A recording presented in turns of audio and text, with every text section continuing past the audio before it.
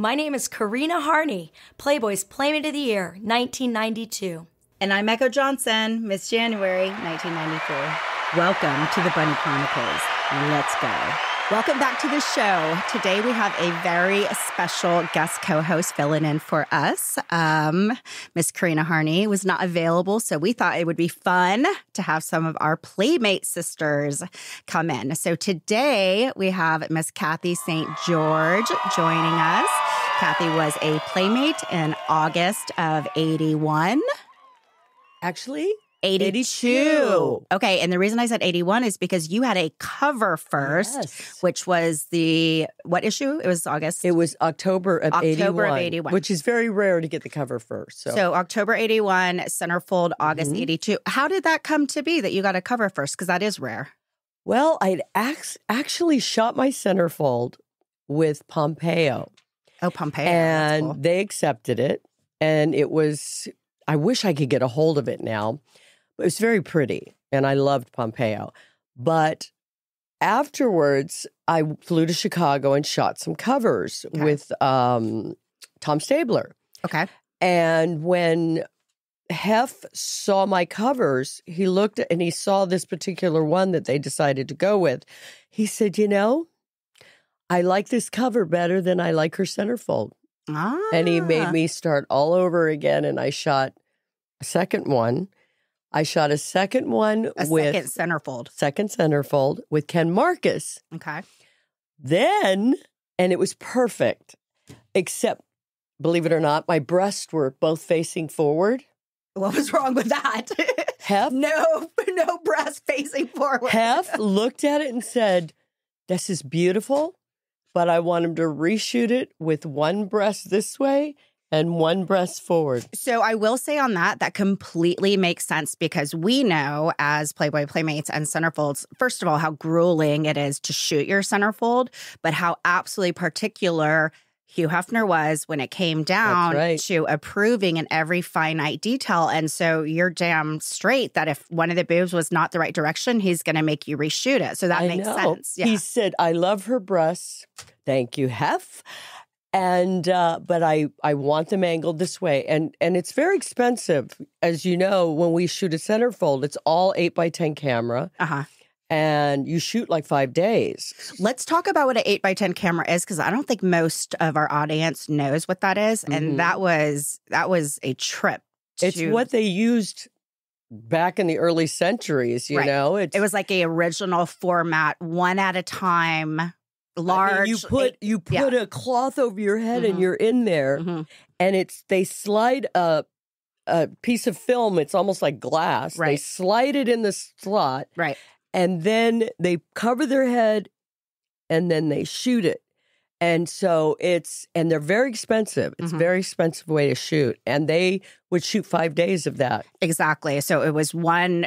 Think about it in this context for our audience. It was like one large eight by ten Polaroid that would come out. They would, Yes. then the photographer, lighting, everybody would look at it, make the adjustments. But that was five days straight. Yes. Usually ten, sometimes fifteen hour days in the Yes. same exact position or pose that was chosen for you, and you could not waver from it. Sometimes it was hard to get out of the pose when you were done. You know, True. True. and um, Okay, so so then you did a third one after. I did so then so I did the third one with the b- breast angled the right direction.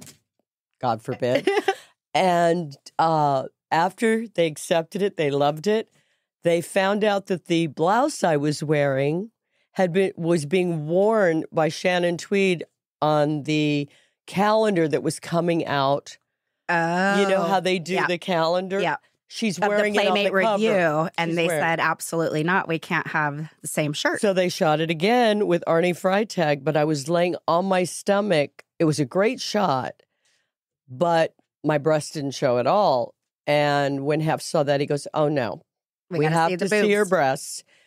Let's just go ahead and take the other one. I don't care if it's in the in the calendar." So we ended up going with that one. So f- I shot four centerfolds and four small cameras with different photographers, over a span of how long? almost a year and a half. Holy shit! And then That's nerve wracking. I know. And then they used six different uh, photographers' work in my layout. They gave That's unique. they gave somebody every photographer was represented who shot me in my layout. That is very, very cool. and so almost just- all were bed shots, so I look like a slut. But I, well, aren't you? Aren't you that whore? That Little old whore you call Little bit. yourself?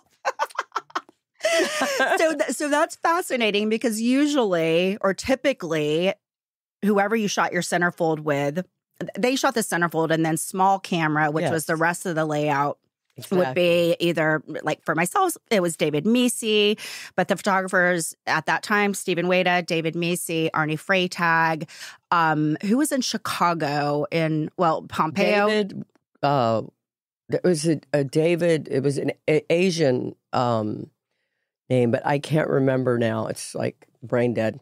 And then the one that's shot um Corinna's good, layout. I can't think of his name. He's no longer alive. He was in Chicago. Chicago. I'm trying to think of some of the ones in Chicago because I work so much in LA. I mean, Right. There was yeah, I had Arny Freytag, Pompeo Posar, Richard Fegley, Ken Richard Mark. Fagley. That's who. Yeah. Love Richard Yeah. Fegley. So that's that's really interesting because then you got a full spectrum, and, and Mhm. each photographer, yes, equally as amazing, but definitely had their own unique style. I know. So I'm sure that you could see that in your layout. Oh yes, I looked different in some You of the could tell. pictures. I looked different because each one sort of captured you in their vision, Uh huh. and so it was very versatile. The layout was very versatile, and I even had the the photographer Dick Bruin who tested me Mm-hmm. originally to send to Playboy Mhm. for them to do a test. They put one of his in too. Interesting. And how old were you? I was actually twenty seven. That's considered old to be oh, testing Oh, yeah. for Playmate. Wow. It came out There's only a handful of Playmates I know that were in their late 20s that got approved. It came out my 28th birthday, and it was for my 10 year high school reunion. I It was love, so I great. I love it. So well, how did your journey even begin to become? Did you know you wanted to be a Playmate, or how did that even come to be? It used to be, I used to read play, look at Playboys when I was young. I thought they were beautiful women. So and had I, an affinity I for it. thought, I would, I would love to be a Playboy centerfold. They're so pretty. Yeah. And then um, I was, believe it or not, in an aesthetics school learning aesthetics because I was a makeup artist and thought, I just moved back to California. It's probably good to learn aesthetics because it broadens my chances of getting work and things like Sure. that. And I was sitting in the room and they had they brought in a makeup artist who did photography for, you know, like magazines and things like that. And she pulled me out of the audience to do my makeup. hmm And when we were done, she handed me her card and said, I know um, a photographer who would love to shoot a We cover Mm. and you would be perfect. And We was also owned by Playboy at the time. Okay. Okay. It was the European version of Playboy. got it. So uh, I said, okay. So when I went and met with a photographer, and I had never modeled, and I said, I would actually love to test for Playboy because I really, I had just been divorced, moved across the country, and I really needed to make some money because I left my husband Mm. pretty much everything, hmm hmm but $100 for gas to get the hell out. You're like, I'm gas outta was cheaper then. Yeah, it was like 12 cents a gallon. Yeah, I drove from Florida to California on a hundred dollars, you know. But um he so he decided to test me. And we did some shooting and uh they they sent it into Linda Kenny. Mhm. Who's Linda Kenny? Linda Kenny used to be Marilyn's um Marilyn Grabowski, who was the West Coast uh, sort of her assistant Okay. or co-editor. I mean not co-editor, but assistant editor. But she also did the makeup too back then. Now, is it true that you had to do your own makeup for your centerfold? Yes, I did. That I did so all my own makeup. Now, why? And they got Why? it cheaper than if somebody else had done it. Why did you have to do your own makeup? Well, they thought I was a really good makeup artist because Okay. I had done so many playmates. In that time, I'd started. Oh, well, uh, when I first tested, I said to them, and I looked at her kit. Now, I had never done photography makeup in my life. I had worked for Estee Lauder training makeup artists for years. And but I lied. And they called me two days later after they tested me and said, What do you charge for makeup? And I had no clue what to say. And I said, $200. They said, Okay.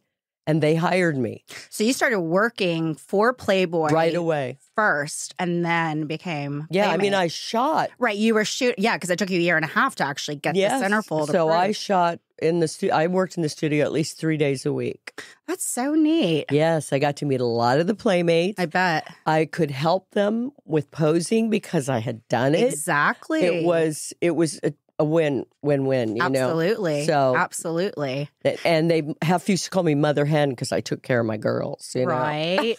so you and Hef were you and Hef were were close, and and I also just want to bring up the fact that you know you're from the '80s. I'm Mhm. you know from the '90s, and coming into the mansion, you know, in 93, Hef was married to Kimberly, and you would hear about what it was like, you know, previously. And we didn't get mm-hmm. to actually witness that until Hef and Kimberly got divorced and the parties started happening all over Yeah. again. But what was it like in the 80s? What was it like at the mansion? What was Hef like? What was going on in his world? What was the company doing? it was so much fun. Now I met Hugh Hefner because they hired me to do his makeup for Halloween. Oh. and I was a nervous wreck. I had to make him a vampire. and I remember because there was a German issue of Playboy, uh, a shoot that Philip Dixon did. And I loved the way the makeup was done for this vampire, you know? So I kind of went with that and I did his makeup. And I wanted to put this pur- this very deep sort of purple really inside his lips so his lips look thin and menacing right, right. the color would only be in here. And Hef said, "Oh no, I can't wear make. I can't wear lipstick." And I said, "Why?" He said, "People think I'm gay." he did not. I swear to God, people will think I'm gay. Go, oh yeah, that's what they're going to think. so it was a hard no. no, it's a hard you now. weren't able to do it. and then I told him when I was going to be. It was my very first party at the Playboy Mansion, and I had bought this little beautiful body stocking in gold, and I made the tail with a bow on it, and I made ears for my head, and I made this gold horn with cord around it and glitter, Cool. and I went as a unicorn. And Hef said, "Do you know how many horny jokes you're going to hear tonight?" I said, "It's okay." But I'm so short that every time I went to hug somebody, I poked him in the neck with my horn. With your horn, right? No kidding.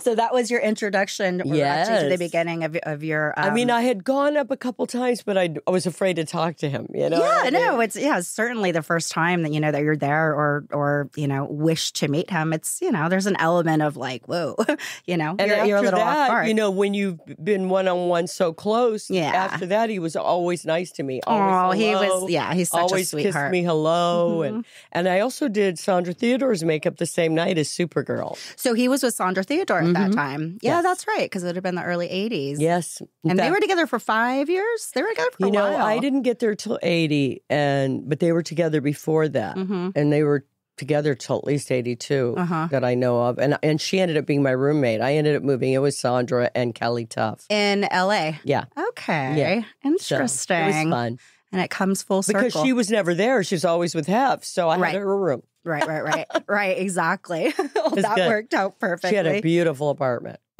So realistically though, you you worked consistently with Playboy for decades, you know? Well, I did. I worked with the magazine for like two years, um, a lot, Mhm. and I even trained some of the makeup artists that came in, and then they undercut my Such prices, as? which you don't want to do that.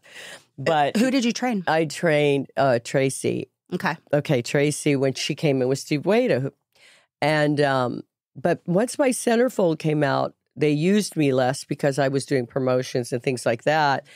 And then um, they would have me come in for special things like celebrities doing uh, pictorials, things Mhm, like that. I mhm. did a lot of celebrities, Fran Jeffries, you Uh-huh. know, and and what is it, Rita Jenrette, and all these people, and then um, and then so then I didn't work as much with them, but then when the channel came out, I Oh, the Playboy channel. yeah, I started working all the time. I would do all the host wraps for the girls. So explain what host wraps are for our audience. Okay. Whenever a new girl uh, would get, it was her month of her centerfold of, of you know her promotion month.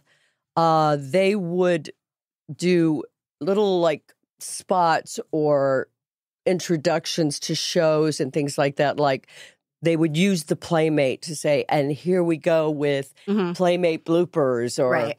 Welcome to Playboy Channel. You were and- the host for the month, basically, yes, when it was. and your- and yeah. they would just pop you in all through the Yeah. the month. yeah, I remember recording that, and I remember going home with like half the wardrobe because I loved it. Oh yeah, that's lucky. I wish I thought of that. And every time I went back to the mansion, I was like, "Oh my god, I just love the way I look so much." I would just keep my makeup on and like find a reason to go out. Do you know something. everybody did that whenever I used to do makeup for the girls? They loved my work. They'd say, "I got to go out tonight now." I know you didn't want to waste. and one of them was, I think it was Cindy Woods, who was Playmate of the Year in the 70s. And she also uh, did a spot on Apocalypse Now. Mhm. But she said, I actually slept with my head looking straight up so that I could wear it the next day, too. So uh, in the '80s, then that would have been the era of the Playboy clubs as well, right? Did you ever work at any of the clubs or do events there? And what were they like? I did events. I, I did promotions, like in Great Gorge. I did one, and um, I think that's one of the only ones I actually worked.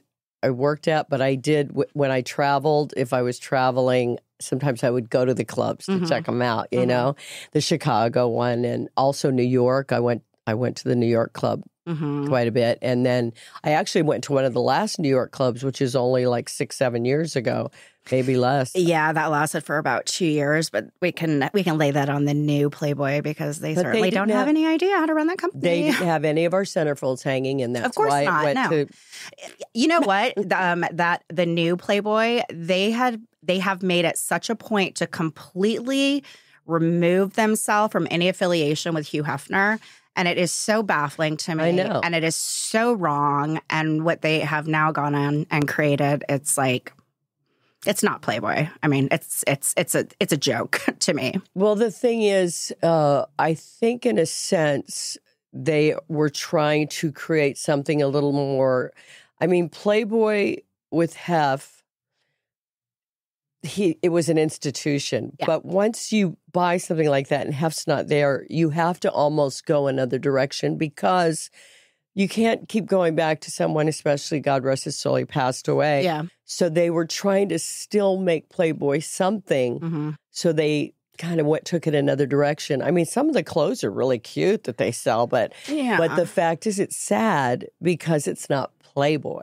Well, you know what's really interesting? Um, so all of the international publications continue to create and produce the beautiful glossy publication each month around the world. In America, we are the only ones that do not create the publication. With that said, I understand how expensive it was to create the publication. And with Hef gone, you know, there was no way that I think you could carry on that caliber unless, you know, Cooper had stayed on. But Cooper, for his own decisions, decided to go because he saw the writing on the wall and the direction it was going and he didn't want to be a part of it. But um, I don't know, there's just so many things that they've done that it's just it's it's bizarre to me that it's now just turned into a a merchandising brand. That's right. And then the centerfold, which did you know that they trademarked the term centerfold? So when you go onto playboy.com now, it says, look at our new Playboy or new uh, Playmate of the Month. They direct you into centerfold and it's only fans. So it's every type of woman you can imagine doing anything you can imagine. Oh no. So gross. And what a slap in the face to us. oh my God. You know, that's the thing is when they put it, when they make it less than, Mhm. It makes us less than. Exactly. you know because Exactly. that is that's why i i really have i have no complaints about any of the time i went to the mansion i mean i had more fun than i should have been allowed and also it was like my second home Mhm. i used to go up For there a lot of us, it was. I used to go up on Tuesday and Thursday nights because Hef played Monopoly every Tuesday, Thursday. And I would go up in my pajamas with a ponytail on top of my head. And when I say my pajamas, they weren't pretty pajamas. They were sweats, yeah. and I'd wear a ponytail on top of my head. I just didn't like being alone all the time. So I would go up there and I'd lay on the couch while he played Monopoly and order a BLT with avocado, which was my favorite yeah. with Joni, and I would eat and hang out with them till Yeah. it was bedtime, and then I would drive back to my apartment because it was very close. But you could go up. You didn't have to be beautiful up there. He didn't Yeah. care. He loved us even when we look, had curlers in our hair. Yeah, You know. absolutely. He loved us. He he he he respected us. He loved us, and he loved us being around. And that was the beauty of it. It was a second home to all of us, and there was. I'll say an open door policy, but you know that wasn't for everybody. But certainly, a, a good amount of us were we in town, or did we live in Los Angeles and we wanted to come up? Absolutely, come on up. That's it right. was amazing to have access to that whenever. I had a twenty. I was on a twenty-four hour See, list. Yeah, there was a 24 hour go- list. I would go after I went out drinking, stop and have steak and eggs. like I'm to hungry. soak, Let's soak go up eat. the Let's go eat alcohol at the mansion. all by myself in the and then I'd go home because I feel better, you know. that was the best. Was the 24 hour room service? My Oh my God, God, whatever, so whenever you wanted. And the girls were very close. It was very much sorority like. Absolutely, We to hung out there. We hung out there by the pool all the time. We worked out together. We would do aerobics classes, and everybody come up, and, and it was just so much fun. And uh, sometime, one time he had emus, though. I don't know what possessed him to get them. You know, they're like ostriches. That's the only animal I didn't like, or bird I didn't like that he got because They it would come after you. It would come after me and mm-hmm. steal my sandwiches. and I go, I just got that sandwich. uh the zoo the zoo at the at the mansion did you know that that um i think it's the only home probably in california that had a zoo license and, and that's the and one thing that forest. It was considered a forest. and a national too. forest National right Forest. um uh daren metropoulos who bought the mansion um did keep the animals Oh, there that is my understanding so i'm of sure that he's maintaining the the zoo license because that was such a beautiful part of it the grounds and you know the wildlife everywhere And he got rid of the aviary, which I was sad because yeah, that was that so happened beautiful. a long time before, though. But But I remember once there was a bird, one of the bigger birds, and it would sit by the pool, and you'd walk by the bird, and it would go bump, dee bump, bump, dee bump. was it a parrot? I don't know what kind of bird it was. It was a big one, but somebody taught it that. You know, That to is bump, funny. dee bump, bump, dee bump, like we were shaking it. you know? exactly. Look at the ladies shaking that ass when they walk by. And then there was one that was like losing its feathers. It was pretty old, and and Hef was thinking, yeah, it might be time to get rid of it because it was looking pretty scary, you Yeah. know. And um, we taught it to say, "I love you, Hef." Aw, And after that, he couldn't get rid of it, you know. 'cause, yeah, he was like, you know, he's a sucker for all that love. one of his many uh, philanthropic endeavors, you know, was um, the the Wildlife um, Foundation, and uh, that's one of multiple things that he had his name attached to, which we will be talking about hmm over the next, um, you know. Series of shows that we do, and I think it'll really surprise people because he, Oh, yes. he was Are involved in He so loved- many he loved animals. uh, and animals were and he, he loved birds and he loved everything you know and, and the thing what i love and he loved us because what i loved about him is he always had Midol in the house because when you are all hanging out together all these girls just sync up and when you've got pms going all at the same time he would always have Midol in the house for us so we would take our my That's right. It would always be in all the bathrooms.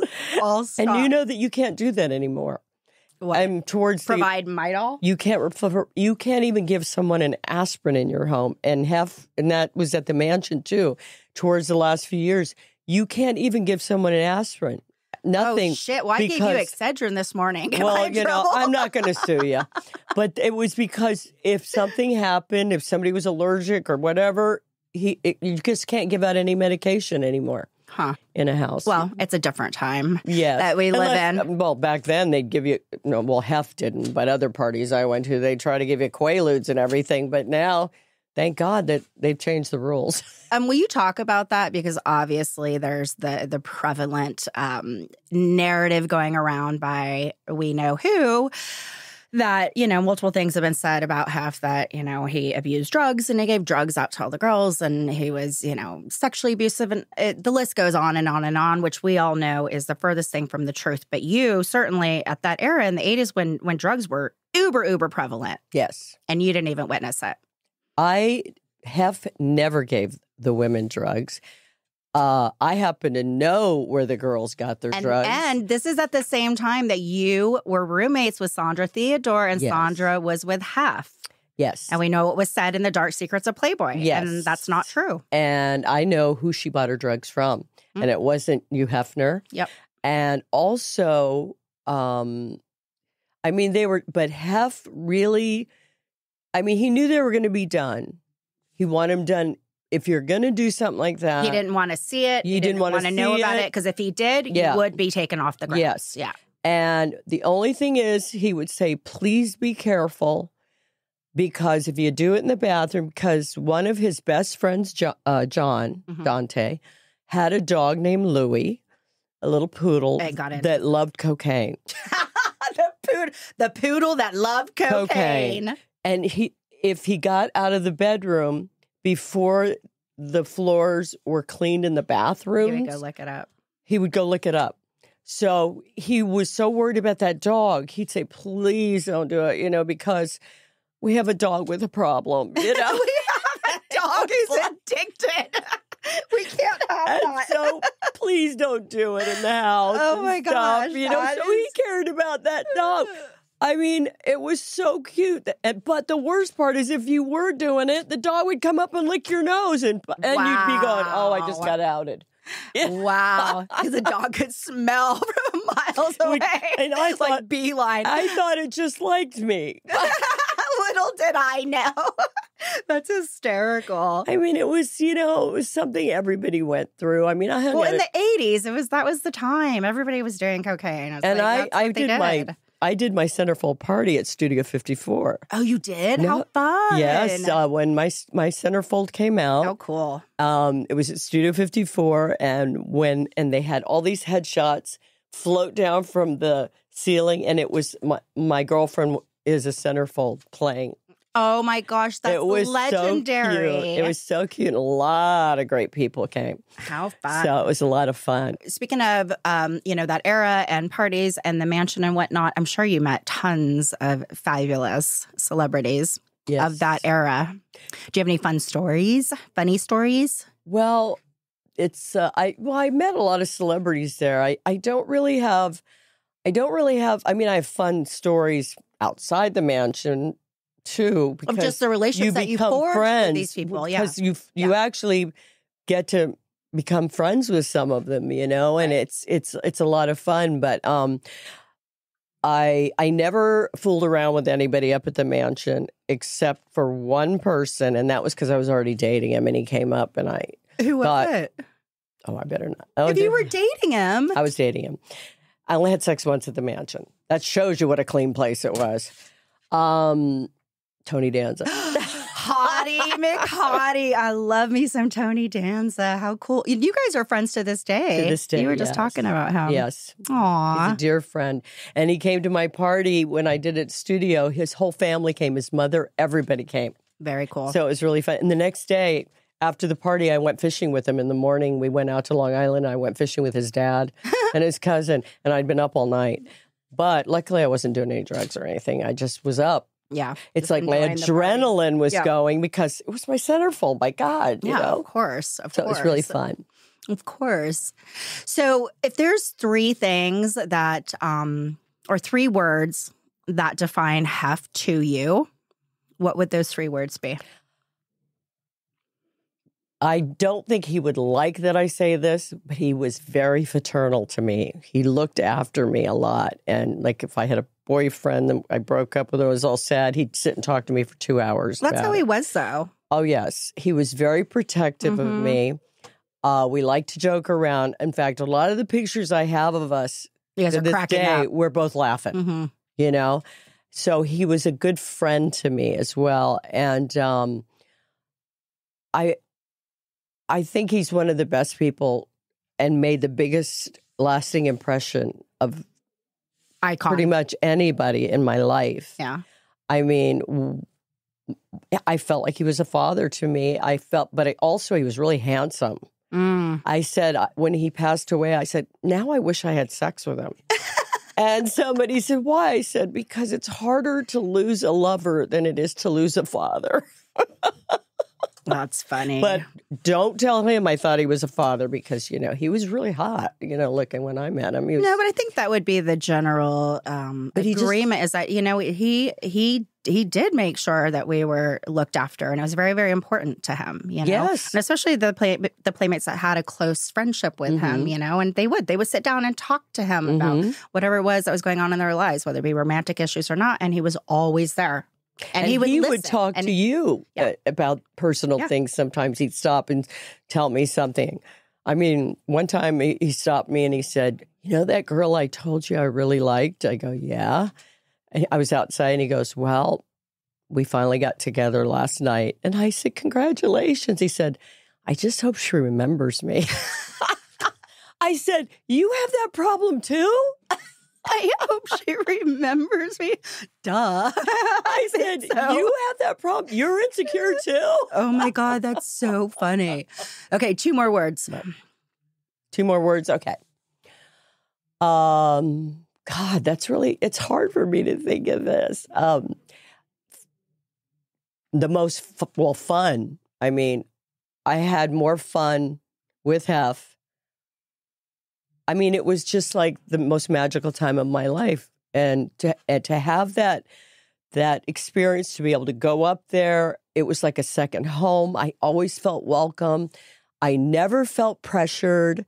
I never felt like that's why I don't understand how these people were in the same house I was, but I never saw any of that stuff. Right. Isn't that interesting? I never saw any of it. I was like, should I be insulted? Mhm. That he never tried, you know, but he, I mean, he, he did express uh, the desire to have me come up and visit him upstairs, Sure.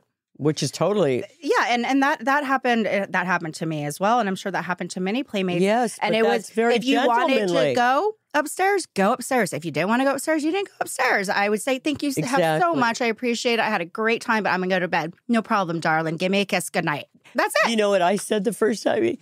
I said, listen, I just got a divorce. I married the first guy I slept with. You wouldn't want to sleep with me. I said, I'm telling you now, it could be a real buzzkill. A real buzzkill. I said, let me get a little experience in my life first. And he hugged me and he goes, You go for it, girl. That go get some great. experience. That is so funny. I love it. I'd be a real buzzkill. So I'd be a real buzzkill in bed. I'm, I'm trying to think of these words to explain to him. Just, I feel a complete loss, loss also when that he's gone. Yeah, when he passed, because I will tell you that he was such an important part of my life, and and not to have him anymore, not to know he's not there anymore is was really a loss. I had- yeah, yeah, for everybody. You know, it's like, you know, obviously we knew that time was going to come when he would pass, but gosh, when we all got that news, whew, I know That was so heavy. sad. and I And didn't spend a lot of time with him towards the end because well, nobody did. Nobody and that's what hurt me to the him. most was Yeah. because I'd always had access to him, and all of a sudden, it's like having your friend taken away. All of his you. closest friends lost access to him, Mhm. as you know. Everybody that that was on that 24 hour list that were his closest confidants for Mhm. decades and decades, all of a sudden you're not allowed to come up to the mansion. We can leave. I mean, I that used up to, for I what used you to think, but- email him funny s Mhm. pictures or stories or things I'd read, and he'd always get back to me. And yeah, And then all of a sudden, you weren't even allowed to email them. yeah, we weren't yeah. allowed All contact communication him. was completely cut off. That's What are you gonna do? you know, I think that'll make anybody pass away Well, I that had much faster. I had a, a medium contact me, and she'd been trying to get a hold of me for months and months and months. And she finally got a hold of me, and she was on the phone, and I s- and she's in Pittsburgh, and I hadn't seen her in four years. And I said, "I'm so sorry to get back to you. What's going on?" She goes, "I have to call you because these three men keep coming and talking to me." And one of them I know is your father because I've seen him before. The other one I think is your father, and one of them wears a smoking jacket, a half- pipe. It was half. And I said, It's my three fathers. it's my three fathers. That's great. Yay. Okay, well, that actually that's a good segue then to ask you this: Had you had the opportunity to say anything to Hef before he passed, what would you have said? Get rid of that bitch. yes, count on Cathy, keep it real. Well, that probably was the general consensus from all of us. I know. Mm, yeah. I mean, I I couldn't figure out a way to kill her, but trust me, it did go through my mind. Mm, I'm sure. Yeah. you know. Yeah. That was, uh, yeah. Yeah, he was too good a person to be cut off from the people who loved him. And plus, that was his life. That was his livelihood. He thrived on having people around him. That's why the the mansion was was open in that capacity. And every single night, something was planned, and that and that never Hef never swayed from that plan or those No. calendar of events. He was religious about everything that he did. I know. And then for that just to completely disappear, I mean, And you, sometimes I remember when you'd go to the movies, and certain nights he played old movies. Mhm. Like he loved old and I think old that was Friday nights. Friday nights. It didn't used to be back in the old days. It was always new movies Friday and Sunday, but then it became Friday night was the old movies. And so you'd be watching a Hitchcock movie or something. But what I loved the most is before each movie, he had done research. Yeah. And he would look up trivia about it. Mhm. And it was an Ingrid Bergman, and I think Cary Grant was in it. And I wish I could think of the name of it, but it was a Hitchcock film. And he said, and he read this whole thing about it, this period of time. He said, first of all, you know, he read he tells you all about the, the actors, and then he says, and did you you will notice in the kissing scenes that none of the kisses last more than a certain amount of seconds oh, because it was illegal back then. Really? It was illegal to have a kiss go longer than I think 30 seconds. So they you'll notice that they break the kiss and then go back to the kiss because if they break it, then it's they That can is go a back to it. fascinating And I didn't- factoid. I would Who never- knew? And he always showed an old Warner Brothers cartoon before the movie too, Yeah. and it was so much fun. Well, and that just, you know, speaks to Hef's, you know, ultimate love affair with cinema and then his multiple philanthropic endeavors surrounding preserving cinema Mm-hmm. and then addressing censorship in cinema and specifically the two endowments that were made um, USC. And it's my understanding that I do think that Hef did end up going a handful of times and teaching that class at USC. And then there's also a endowment at UCLA that honored him, but it's all around the preservation of cinema. And he would always talk about, you know, as as a kid. I mean, that that was that's what he did. He watched movies, and ultimately, that's what he you know created the the centerfold on was those movie stars of that Yes. era. You know, and it all comes you know full circle. I know, and the, and what he also loved so much, he loved his scrapbooking. Remember, Oh yeah, He would sit he was in in the room- Guinness Book of World Records for scrapbooking. Did you know that? I did not know Uh-huh. that. Yeah. Oh my god! Yeah. But he lo- he'd sit in a floor on the floor, surrounded by pictures and stuff, and pick them out to put in his books. His whole life is scrapbook. Yeah, the scrapbooking was was prevalent. I mean, and he would do that.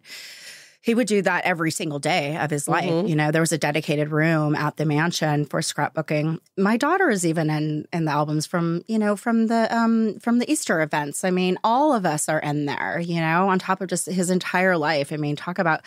I wonder where those scrapbooks are. Hopefully, the HMH Foundation has them. I know it's it's weird because I remember calling uh, the archives and things like that, and towards the end when Hef was not there anymore. Mhm. Uh, uh, but I remember because they they put a pictorial up for me. Um, this was after I sh- reshot my cover, but it was like in August. They did this whole pictorial of me. It was pictures I'd never seen, Right. and I called them and asked if they had any of the uh, special edition pictures because we shot so many for that. And one of them, a few of them, were never used because they just, I don't know, got lost in the in the library or something. And they did not even have those anymore. They did not have any of the special edition pictures, only original centerfold stuff. Actually, I I do know that um it was probably a year and a half ago when uh, we did a roundtable with the PMOYs, Renee Tenison, Brande Roderick, um, Corinna Harney, obviously. And I was trying to pull photos and I went onto playboy.com. And if you dig deep, you can actually find the playmates and et cetera. And they have all our libraries. But I did see a lot of uh, content content in there photos, particularly that I had not seen of myself, and as well as Renee Tenison. So you might want to look in there and see if you if there are anything. I in there. should because I You don't might- have, you I might don't have something. a password, believe it or not, and I don't think you have to have a password for this for Oh, the really? Playmates. Uh uh because it always wants me to join. You know, in the old Playboy, if we're the old- Playmates, yeah. can we get a pass? well, in the old days when they started the website, we did get a password. Yeah. We we got to see it free, and we also got a monthly issue of Playboy free. And I, probably for 20, 25 years, I got it, and then that stopped. So, Did you know that um, I was a driving force behind Playboy.com being established? oh no, Yeah. So I was the second uh, playmate to figure out that the internet was here and it was it was here to stay, Mhm. and there was a huge opportunity there. So Christina Leardini did it first, and then myself, and I taught myself how to build websites, and then I had a, a you know a highly successful membership based website for probably like five years. Um, but I remember being in Chicago and having a conversation with Christie Hefner about it, like the importance of this. And, you know, you guys are behind the eight ball. And it, again, it went back to, you know, Hef wasn't very sure on it. You know, of course, he didn't understand it, nor did he believe that it was like here to stay. So um, finally, when you know they started to see that you know more and more websites were coming on board, and whether it was Playmates or not, but women were making you know money, and that's that's the way of the future. And so you better make sure that you do that. So uh, when Cindy Rakowitz came in, she she spearheaded that and got that done with Christie Hefner. But I do remember having a conversation with Christie about it. Like this is uber important.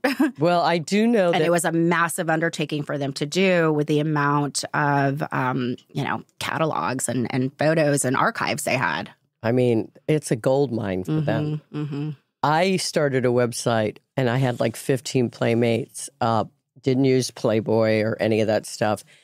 Um, but it was still, you know, it was n- it was new, but it was after the the websites were starting, you know, and I got sued by Playboy. Well, they, But- they came after me too, but we came uh, to a resolution that as long as I um, uh, use the registered trademark of Mhm. Playboy, that I could go ahead and use it. Um, and then in, I want to say it was 2000, there was that landmark case with, with Terri Welles. with Terri Welles, Yes. exactly, granting not only us, but if Miss America, Miss Universe, whatever title that you were, you have every right to use that in perpetuity for the rest of your life because Yes. that is your title. That's right. You don't lose a title. hmm Unless, of course, maybe uh, what's the Miss America that posed nude for Playboy or something. yeah, and then she got it yanked. But other Yeah. than that, once you're a playmate, you'll Yeah. always be a playmate. yeah, that was you that was definitely a landmark case, and and you know since then I uh, even had the new Playboy you know send me cease and desist orders because I had registered. Um, a domain with the word playmate in there. And I wrote back and I said, It would behoove you to know this case. I will not be relinquishing my domain, and this is my right. And I never heard from them again. Well, see, the thing is, they didn't actually sue me. They just threatened and they were going to tie me up. And Right. so I decided it just wasn't worth it. But then I started to do my own website. It wasn't a bunch of the girls. And I got ripped off five times. And finally I said, God's trying to tell me something. So I never got a website up. But now I had all those pictures Right. that I had shot. right. So when I went on the road and started doing You Comic Cons, content to sell. I had 155 or 160, and I still have more than that. I've just, those are only the ones I've printed up, Yeah. you know, and I had so much stuff to sell because of it. So it worked out great. Yeah, no kidding. Same. I, I ended up counting my galleries, and I personally own like 36,640 images that I produced for my galleries that I'm now going to utilize and I'm making digital art out of them and other things. But at the end of the day, like you were saying, going to the Mhm. autograph conventions, I had so many other pictures from shooting for five years for my personal website and a new gallery every week. So think about that. I know. So that was really cool that we, you know, were able to to take that opportunity and monetize it. and it was, it, I know when I went to do Comic Cons, I could only put my photos, non nude photos out, like my swimsuit stuff, my Sure. bench warmer things, things like that. And then in a, a tall magazine box, you know, that you, I would have it open and it had, you know, like little, like vintage nudes, Mhm. nudes, non nudes, vintage non nudes. And people could do it like this Smart. and no child could see over the top. Yeah. So, Smart. So I sold them like that. But And uh, you did Comic Con for five years. You did that circuit, didn't you? I did Comic Cons, horror conventions, and uh, I probably did sometimes two a month, sometimes more. Um, I supported myself for five years, but I traveled everywhere and I did it all by train hmm because Cool. it was too expensive to carry all your supplies, your sign, everything on a plane. They charged you so much. Sure. But on a train, because I lived in New York and it was close to everything. And most of them are over there. They're in the Midwest. Yeah. And I traveled by train, and like if I left at four thirty in the afternoon in New York, I got to Chicago nine thirty in the morning, hmm and I would do the show. I do two shows there, usually GlamourCon and Wizard. So I would always do two in one week Very cool. and um, they're, they're very very lucrative. 2008 it kind of it kind of hurt because you know the economy was weird in 2008 but i supported myself for a long time and i got to meet so many lovely people too. Yeah, for sure. you know it's like joining the circus doing those shows. You go off and join the circus you I know? love it. Okay, so um, had you had the chance to say anything to Hef before he passed, what would you have said to him, told him? What comes to mind? i love you Yeah, and then i would have thrown my arms around him and my legs around him and not let go I love that. because you never know when they're going to be taken away from you I always get tears when we talk about this. When I ask my guests this, it brings back a lot. and We're And- so grateful. and we were thanks for the memories. I mean, memories. she means memories, people, not the memories. I meant both. she meant both. That's great. Okay, so Cathy is going to be filling in for the next couple round of shows. I'm so so excited. Much to her dismay. Thank you, thank you for joining me. Thank so, um, yeah, we'll see you next time for our next interview with Candace Jordan I coming up. I can't wait. That's going to be her. fabulous. Thank you so much for having me on the show. You got it. Thanks so much for fun. being here. I appreciate it. I'm Echo. I'm Cathy St. George. And this is The Bunny Chronicles. We'll see you next time.